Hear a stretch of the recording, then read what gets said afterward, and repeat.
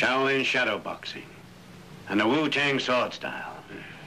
If what you say is true, the Shaolin and the Wu-Tang could be dangerous.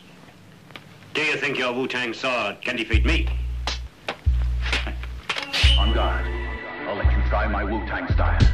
Bring the motherfucking ruckus. Bring the motherfucking ruckus. Bring the mother, bring the motherfucking ruckus. Bring the motherfucking ruckus. The blast of a hype verse. My Glock burst, leaving a hearse. I did worse. I come rough,